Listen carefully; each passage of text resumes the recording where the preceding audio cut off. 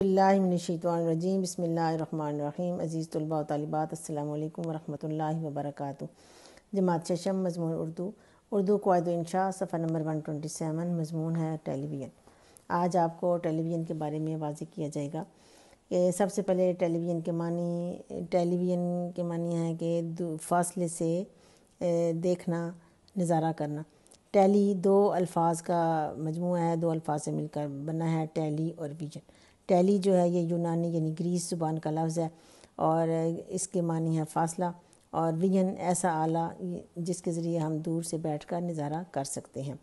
ये आज से लेकर मुखफ़ है तक इस चीज़ को आप छोड़ दें क्योंकि फिर बहुत ज़्यादा लेंथी हो जाता है। इसमें यही है कि ये लफ्ज़ अंग्रेज़ी और उर्दू दोनों में शामिल है और टेलीविज़न को टीवी भी कहते हैं। अच्छा जी, अब दूसरे पैराग्राफ में ये बताया जा रहा है कि आज से सौ साल पहले कोई आदमी ये बात करता कि फ़लाँ आदमी की आवाज़ है, पेशावर से मुल्तान सुनाई दे दे तो ये उसे मज़ाक लगता यानी वो सोच भी नहीं सकता था कि इस कदर तरक्की हो जाएगी और ये चीज़ हकीकत बन जाएगी। तो टेलीविज़न जो है, ये बच्चों, रेडियो से मुमकिन हुआ है, यानी ये रेडियो की तरक्की याफ्ता शक्ल है। और रेडियो में सिर्फ़ जो है वो आवाज़ आती है लेकिन जो टेलीविज़न है, इसमें आवाज़ के साथ तस्वीर, हरकत और सकनात भी दिखाई देते हैं। अब है कि ये जो इस ईजाद का जो क्रेडिट है, वो अमेरिकी मुजिद, यानी मुजिद के मानी है ईजाद करने वाला।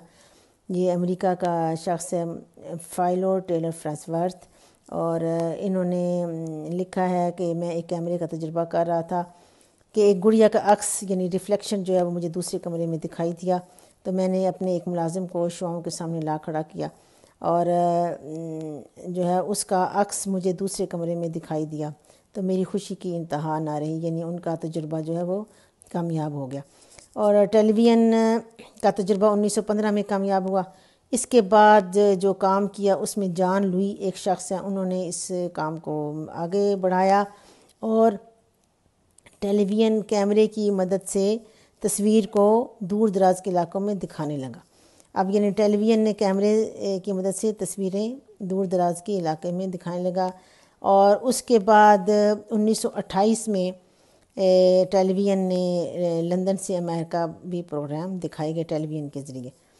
उसके आगे पैराग्राफ में बताया जा रहा है कि टेलीविज़न जो है शुरू शुरू में तो बहुत महँगा था हर एक की पहुँच से बाहर था, लेकिन आज ये हर एक घर में मौजूद है, चाहे कोई अमीर है या गरीब है।